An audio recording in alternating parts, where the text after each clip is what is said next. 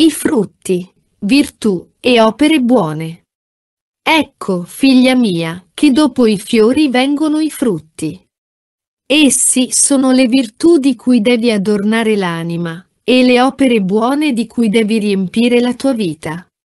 Comincio con l'additarti e farti penetrare in quel santuario intimo che ospita la Santissima Trinità, per farti capire la necessità di raccoglimento di cui ha bisogno l'anima.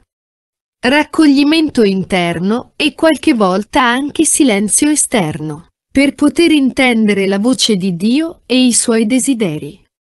Il silenzio è un sacrificio per chi è abituato al chiasso del mondo, ma è una musica per chi desidera aderire con semplicità e con serenità alle cose di Dio. Nel frastuono non è possibile ascoltare e dialogare con questo Padre infinitamente buono, che non desidera altro che le vostre richieste d'amore per riempirvi di esso il cuore. Il raccoglimento è come un incontro solitario dell'anima con lo sposo celeste, del figlio col padre.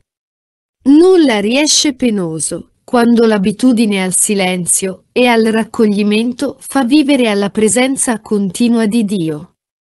Nella solitudine che tanta tristezza porta alle persone, nel silenzio ombroso di misantropi e astiosi, hanno nulla a che vedere con il silenzio ricercato per poter meglio parlare con Dio e con l'estraniarsi dal mondo per comunicare col cielo.